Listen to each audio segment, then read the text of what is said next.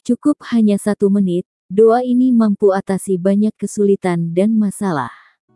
Dengan amalan doa ini maka masalah seberat apa pun bisa diatasi, termasuk masalah hutang.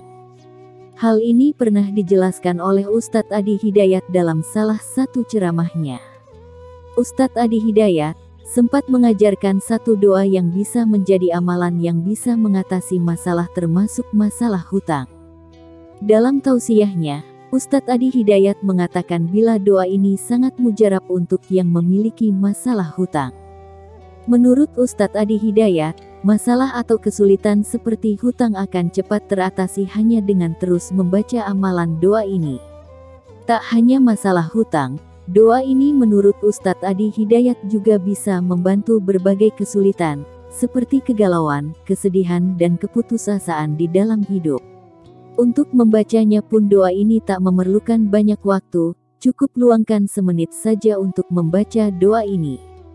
Dengan kata lain, bila seseorang terus mengamalkan doa ini menjadi amalan sehari-hari, maka bukan tidak mungkin kesulitan akan diangkat, seperti lilitan hutang. Sehingga, masalah atau kesulitan karena lilitan hutang akan teratasi dan dibuka pintu rezeki seluas-luasnya bagi yang sering membaca doa ini. Kami kutip dari channel YouTube Ustadz Adi Hidayat. Menurut Ustadz Adi Hidayat, amalan doa ini dapat mengatasi berbagai kesulitan, khususnya masalah terlilit hutang. Ustadz Adi Hidayat kemudian yang mengangkat kisah di mana Nabi Muhammad Shallallahu Alaihi Wasallam mendengar seorang sahabat yang sedang membacakan doa ini. Anas bin Malik sering kali mendengar Nabi Shallallahu Alaihi Wasallam memohon kepada Allah satu doa, doa yang isinya anti galau, anti kesedihan, anti kelemahan, doa anti dari sifat malas, doa anti dari kebatilan, doa anti dari sifat pengecut, hingga doa anti dari penguasaan hutang, ujar Ustadz Adi Hidayat.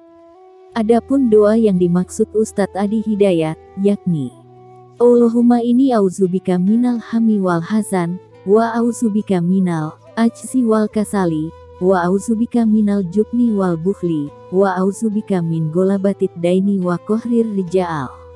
Artinya, Ya Allah, aku berlindung kepadamu dari kesusahan dan kedukaan, aku berlindung kepadamu dari lemah dan malas, Aku berlindung kepadamu dari takut miskin dan kikir. Aku berlindung kepadamu dari banyaknya hutang dan paksaan orang-orang. Di akhir penjelasan, Ustadz Adi Hidayat berpesan kepada umat agar segera membacakan doa ini bila mendapat kesulitan, khususnya masalah hutang.